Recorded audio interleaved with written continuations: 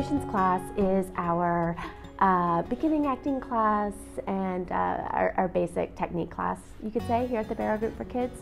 We separated into the three different age groups.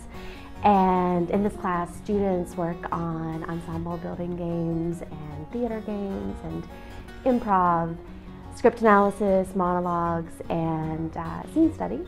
And the class culminates with an open class for friends and family to come watch their work.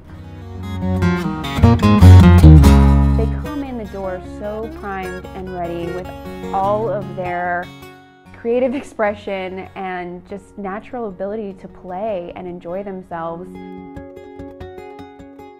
I think one of the important things about our classes for kids here is that they're mirrored directly uh, after our adult professional classes. So they're getting the same exercises and the same tools that our adult professional actors are working with.